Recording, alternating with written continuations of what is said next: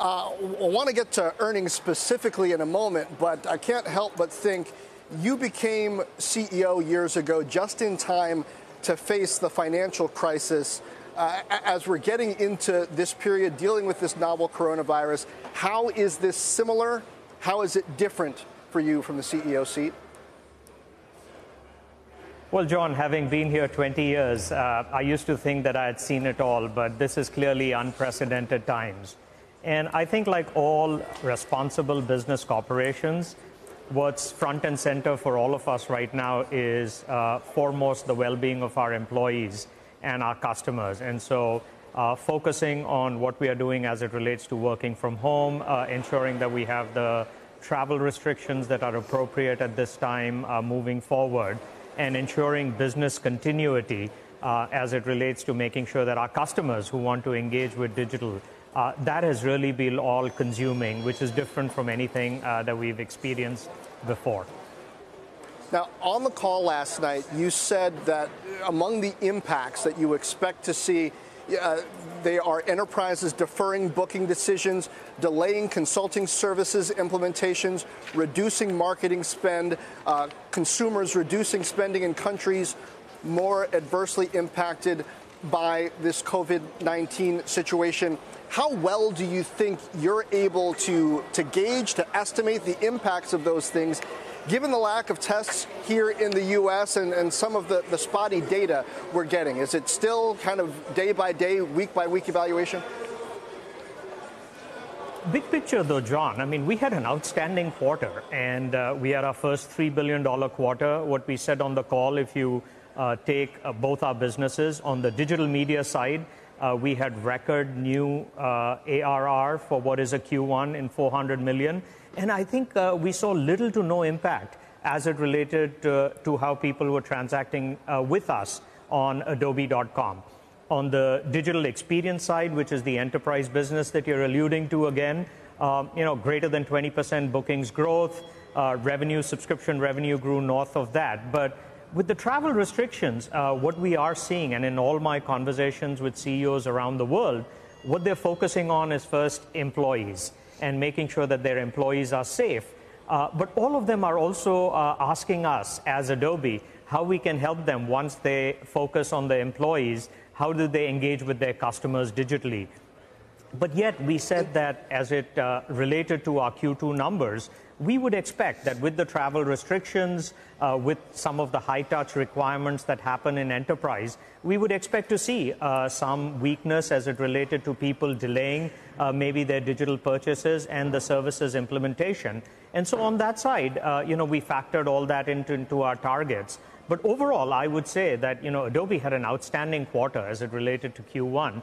And long term, nothing changes. The imperative to engage digitally is only going to get more important. But I think all corporations are first trying to figure out how they operate digitally and then focus on their customers.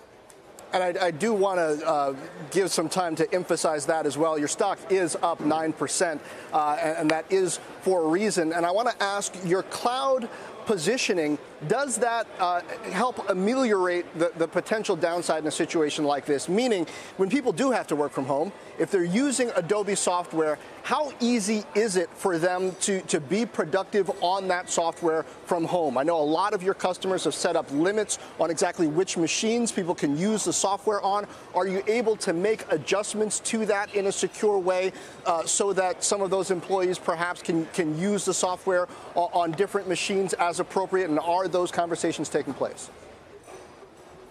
Uh, that's a great question, uh, John. And uh, for somebody who's followed us, as you know, uh, our business is relatively predictable. The move to the cloud enables us with 90% recurring revenue, and I think you saw that both in Q1 uh, and you're going to see that in Q2 as it relates to the core profitability of the company. But we have leaned forward uh, with education specifically uh, to answer your question on how we're engaging with customers. Given every single institution around the globe is moving to online, what we've already decided to do is to allow people who had access to Creative Cloud or Document Cloud in the lab uh, to have access to it at home. So, you know, we're going to be lean forward. We're engaging with every one of our enterprise customers also in terms of an outreach and asking them how we can help them during this time. But I think all responsible corporations like Adobe are going to look at it and say, let's take the long run, but let's make sure that our customers are not impacted during this trying time.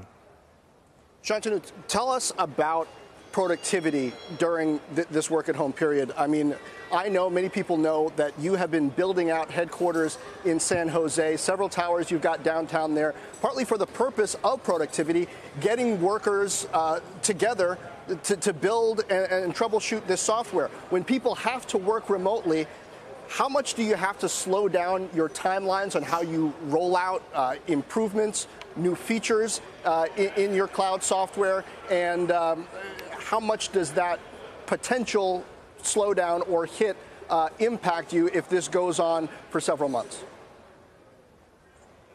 Well, John, we've had this debate incessantly in terms of, you know, is it more productive to be in a closed office, an open office, whether it's more productive to be at work or to, you know, work from home. And I think we're going to all, as a, a globe, understand and get more data associated with it. You know, my sense is that on the engineering side and the product side, uh, more of the product people, uh, especially the engineers, are accustomed to working from home. Uh, and so I think that will continue unabated. But there is some element of when you're walking down the hallway and having a, a really interesting debate, and that causes uh, new innovation. I think we're all going to try and find out how to keep that productivity and creativity alive. Uh, as we transition to a completely digital environment. And I think most companies are going to see a little bit of a hiccup, but uh, it's going to be nice the next time I meet with my engineers and I can actually give them some real data on what we are seeing in this situation. But uh, Shantanu, that raises a great point, uh, and you're so good uh, at seeing around large corners. Um, to the degree that uh, we do come back to work uh, and congregate again as Americans, as Europeans, as Asians, you name it, uh, in a year or whenever it is, um, do you see that coming back fully, or will there has, it, has there been a structural change in the way we are going to relate to each other as coworkers? I, I, think there will be some fundamental structural changes that are going to be long reaching. I think as it relates to business continuity planning and making sure that people can work remote, I, I, think you are going to see some fundamental structural changes. But I think most companies are going to look at this and say, uh, what, what, what did we learn as we had everybody work at home, and how do you make that a part of the normal workforce? and how do you balance uh, you know the beauty of having everybody in a room uh, when you can be creative and you can really brainstorm uh, with how you can use more technology i mean at adobe we've doubled down on making sure people have access to this technology wherever they are uh, we are going to be as soon as i finish this do my first all employee meeting as well as my first uh, all uh, vp leader meeting completely virtually and completely electronically. And as you know, we're doing our digital summit that we normally have in Vegas also electronically. So we're all going to learn from this process, which I think is a good thing. I mean, we all know that technology has significant benefits, and as long as we can use this effectively, but I think there will be long term structural changes in how we work. Yeah, it's going to be really interesting to see how all of that plays out, Shantanu.